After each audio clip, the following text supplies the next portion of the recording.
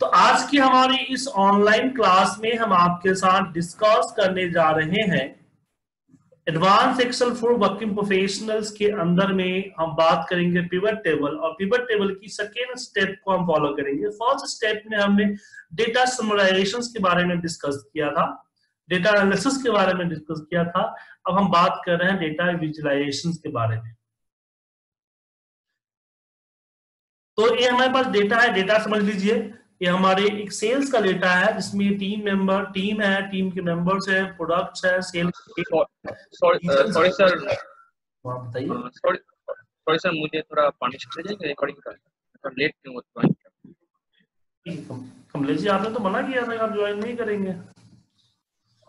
नहीं मैंने कब कहा? मैं व्हाट्सएप पे। आपने किए थे मुझे? मेरे पास कोई व्हाट्सएप नहीं मैसेज नहीं आया व्हाट्सएप के ग्रुप में डाला आपने? आई कुडंट ज्वाइन हाँ आपने बोला था कोई मैसेज नहीं आया मेरे पास अच्छा कुड आई ज्वाइन नाउ मतलब मैं गलत देख लिया। इसमें हमारे सेल्स के आवर्स है सेल्स है। अब इस पे हम बात कर रहे हैं पीवर टेबल की। चलिए हम पीवर टेबल इसमें लगाते हैं। नई शीट में पिवर टेबल लगी। और मैंने टीम मेंबर के हिसाब से टोटल सेल्स का रूट निकाला। हम बात कर रहे हैं फिल्ट्रेशन के बारे में कि फ़िल्टर का इस्तेमाल कैसे करते हैं। फ़िल्टर जैसे मान लीजिए कि हमारे पास रीजन है तो रीजन को उठा के हमने फ़िल्टर में डाल दिया। तो जब भी हम फ़िल्टर लगाते हैं, हमें दो प्रॉब्लम होती है।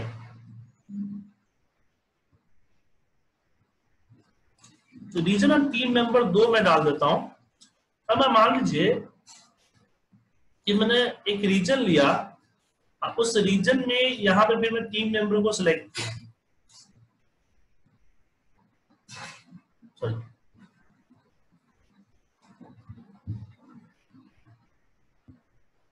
अब इसमें सारा डेटा नहीं आता नहीं है ना? तो अब डेटा किस किसमें नहीं है, हमें फ़िल्टर करने के बाद पता चलेगा। पहली प्रॉब्लम ये आती है। दूसरी प्रॉब्लम यहाँ पे आती है, जैसे कि आपने एक ही पीवर पे दो डेटा दो तरह के डेटा बना रखा है। चलिए, एक ही डेटा पे दो अलग अलग पीवर बना रखा है। जैसे कि मैं एक और पीवर बनाता हूँ, एक ही सीट पे।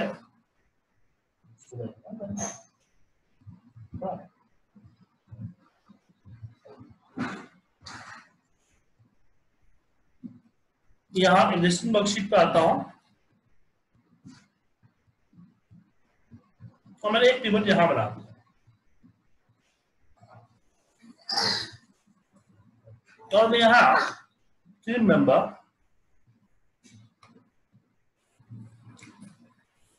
प्रोडक्ट के हिसाब से सेल्स बनाता।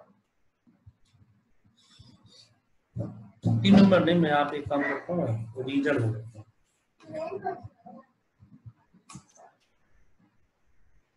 अब प्रॉब्लम है कि मैं यहाँ पे अगर मान लीजिए कि मेंबर मैंने सिलेक्ट किया अप्रैल तो इस ये पीवट इफेक्टेड नहीं हुआ। ठीक है सर? तो क्या इसके लिए फिर अलग से फ़िल्टर लगाना पड़ेगा? तो इसकी सॉल्यूशन क्या है? इसकी सॉल्यूशन है स्लाइसर यहाँ पे आएँगे तो आपको स्लाइसर दिखेगा। तो स्लाइसर में मैंने product team member team region के हिसाब से फ़िल्टर स्लाइसर इंसर्ट कर लिया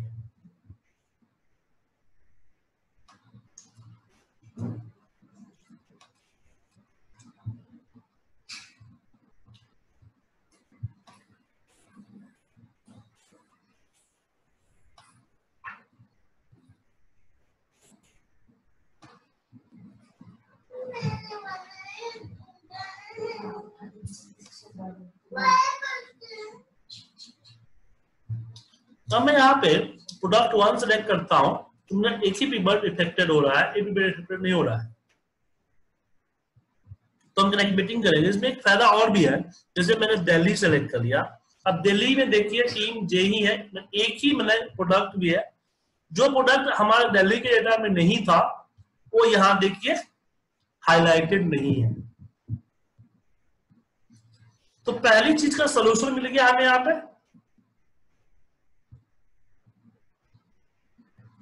दूसरा, मैं एक पीपर लगाऊ उससे कई सारे पीपर इफेक्टेड हो, उसके लिए हम बात करते हैं फ़िल्टर कनेक्शन की।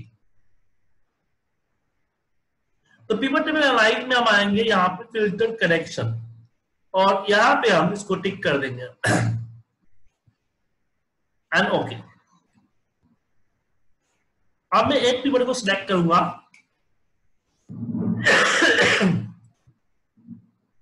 तो दोनों पीवर में इफेक्टेड है।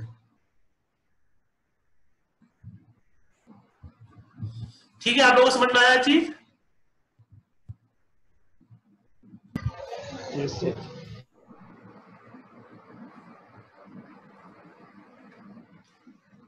किसी को डाउट तो नहीं है सर स्लाइसर लगाने के बाद ही फ़िल्टर कनेक्शन करेंगे या फिर विदाउट स्लाइसर भी कर सकते हैं? नहीं स्लाइसर के बाद ही फ़िल्टर कनेक्शन होगा। फ़िल्टर कनेक्शन स्लाइसर के लिए हो रहा है ना सर? ओके। ठीक है? दूसरी चीज़ कि हम इसको किसी और सीट पे भी ले जा सकते हैं। जैसे मान लीजिए मैंने इसको चार्ट के साथ इंसर्ट कर लिया।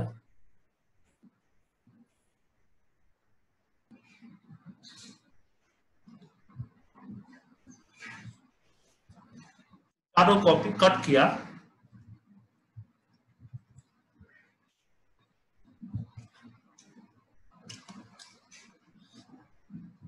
जो बटन दिख रहा है बटन को यहाँ से हटा सकते हैं।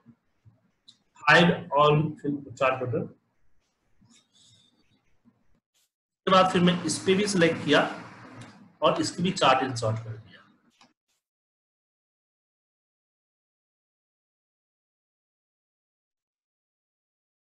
कट किया?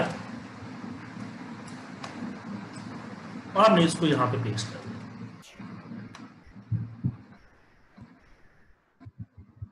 उसके बाद हम यहाँ स्लाइसर जो है,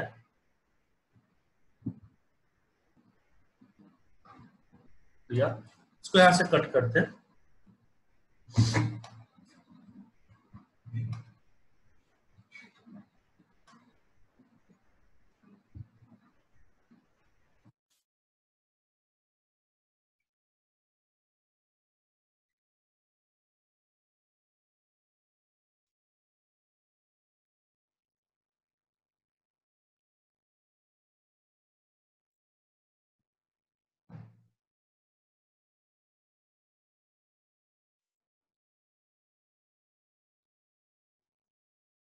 तो आपका पिवट पूरा काम करेगा चार्ट काम करेगा। तो इस तरह से डैशबोर्ड वगैरह पे भी इसका इस्तेमाल, अगर आपको पिवट के ज़रिए डैशबोर्ड बनाना है तो स्लाइसर का इस्तेमाल आप कर सकते हैं।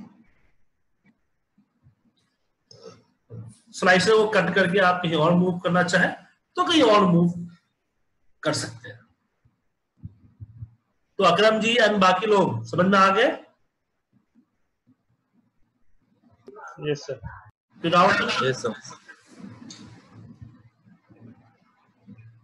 हेलो हाँ सुन रहा हूँ। सर एक बार फ़िल्टर कनेक्शन फिर से बताइएगा। फ़िल्टर कनेक्शन के लिए जैसे मान चले मैं एक और पिवट लगाता हूँ। हम्म, यहाँ पे इंसर्ट पे गया पिवट टेबल और यहाँ एग्रेसिव वर्कशीट पे आया और यहाँ से हम एक पिवट और यहाँ लगा देते हैं ठीक है? और इस पे मैं क्या कर रहा हूँ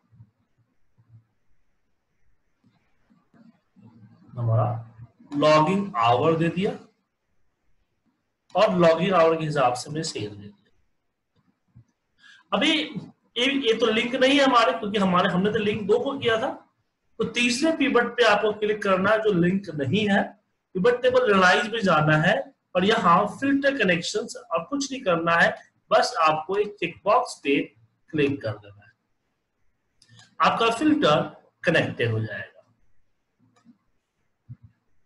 क्लियर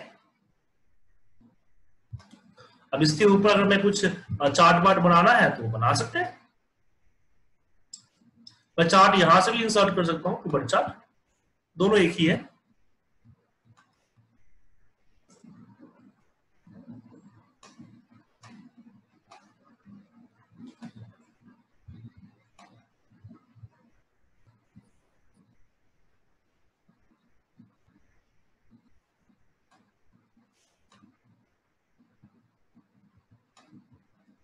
ये चार्ट हाँ ये सब चार्ट जो दिख रहा है ना पिवट टेबल पे जो नहीं होता है।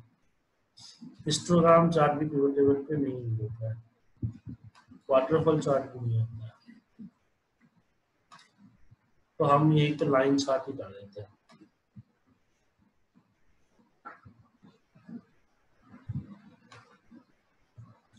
और यहाँ पर मैं कुछ भी क्लिक करूँगा। एक से ज़्यादा सेलेक्ट करना है तो क्लिक करते हुए माउस लेके चाहिए एक से ज़्यादा सेलेक्ट हो जाएगा। ठीक है सर यस सर अब आपके डेटा में अगर आपके चार्ट में डेट है डेटा में डेट है और फ़िल्टर डेट के अकॉर्डिंग करना चाहते हैं और चाहते हैं कि फ़िल्टर जैसे मान ईयर वगैरह चेंज होता है ऐसा चेंज हो तो फिर उसके लिए आप यहाँ पिवट टेबल के अंदर में आपके पास होता है यहाँ इंसर्ट टाइमलाइन। टाइमलाइन पे क्लिक करेंगे और यहाँ डेट जो होगा वो आ जाएगा। तो ये टाइमलाइन इंसर्ट हो जाएगा, जिसमें आप year wise month wise day wise quarter wise easily filter लगा सकते हैं। और इसको भी आपको हर पिवट में लिंक करना पड़ेगा। वही फ़िल्टर कनेक्शन से याद देखिए फ़िल्टर कनेक्शन और फिर आप अपने इस टाइमलाइन को उठा के कट कर लीजिए और कहीं और रखना चाहते हैं तो कहीं और रखिए, कोई दिक्कत नहीं है। और अब जब सेलेक्ट करेंगे तो सारा पिवट इसी से इफेक्टेड होगा। ओके सर टाइमलाइन समझ में आ गया? एक छोटा डाउट है सर ये अपनी जो रॉ फ़ाइल है जिससे हमने पिवट टेबल बनाए थे उसी के साथ रिफ्रेश बटन कर सकते हैं हम लोग इसके साथ। यदि रॉ का डाटा चेंज हो गया तो इसका स्लाइसर भी चेंज हो जाए और ग्राफ भी आपको पिवट पे रिफ्रेश करना पड़ेगा सर समझ गए? पिवट जैसे जाए। बाकी सब डाटा यदि चेंज हो जाए तो रिफ्रेश करना पड़ेगा तो ऑटोमेटिकली सब चेंज हो जाएगा। हाँ इसके लिए नहीं है कोई उसके या कोई ऐसा सुविधा नहीं। है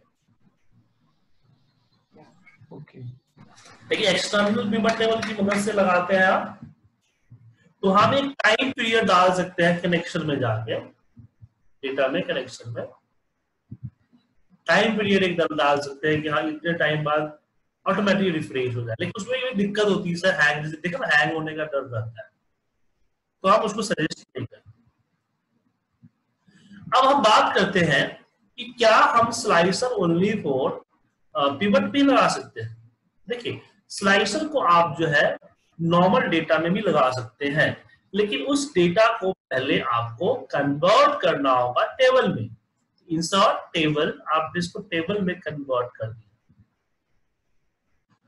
इसके ऊपर स्लाइसर इंसर्ट कर सकता हूँ। और स्लाइसर किस लिए इंसर्ट होगा? फ़िल्टर के लिए।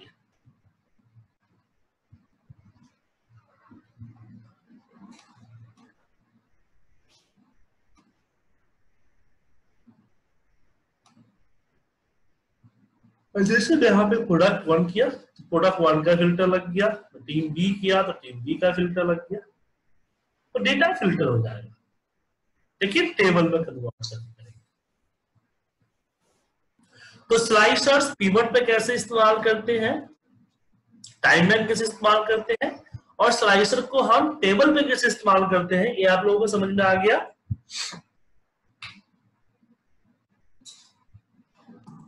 हाँ, सर। किसी को डाउट नो सर ओके तो अब क्या है? कि आप लोग जो है, मुझे इससे इससे रिलेटेड तकरीबन पाँच एग्ज़ाम्पल भेजिए, फिर हमको, हम आपको एक डैशबोर्ड हम पिवट के थ्रू बनाना सिखाएँगे कल की क्लास में। लेकिन पहले पिवट के इसकी पिवट से स्लाइसर में पिवट का पाँच एग्ज़ाम्पल बना के मुझे भेजें। डेटा आप चॉइस कर लीजिए, कोई भी डेटा हो सकता है। क्या मैं आप लोगों से आशा रख सकता हूँ? हाँ ज़रूर सर हमारे प्रैक्टिस के लिए अच्छा। बिल्कुल सर बिल्कुल। ठीक है तो अभी से बैठ कर बंद लगा दीजिए कोई पता नहीं कल ऑफ़िस में टाइम मिलेगा नहीं मिलेगा। तो शुरू हो जाइए अच्छा एक कि मेरी वॉइस क्लियर आ रही है ना आपको? हाँ सर। क्योंकि तो मैंने हाँ, इंटरनेट का कनेक्शन चेंज कर दिया है मैंने बीएसएनएल का फाइबर ले लिया है। ठीक है सर। वायर कनेक्शन है। जब तक चल रहा है तब तक चल रहा है। बीएसएनएल ब्रॉडबैंड प्राइवेट लिमिटेड है इसने बीएसएनएल के साथ कोलेट करके फाइबर बिछाया है। तो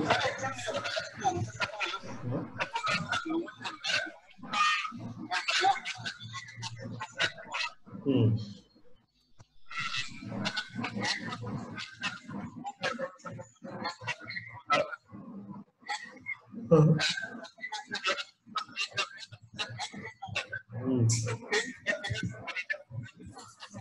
डेट का formula E date E date जैसे ई एम आई मंथली करना है ना आपको जैसे मान लीजिए कि आज ई एम आई है तो आप यहाँ डेट ई डेट का फॉर्मूला लगा दें डेट को सेलेक्ट करें, और महीने पे ई एम आई है?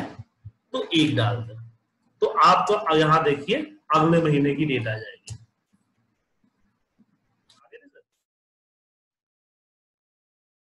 नीचे ड्रैग कर दीजिए तो चौदह फिक्स रहेगा, सिर्फ़ मंथ और ईयर चेंज होंगे।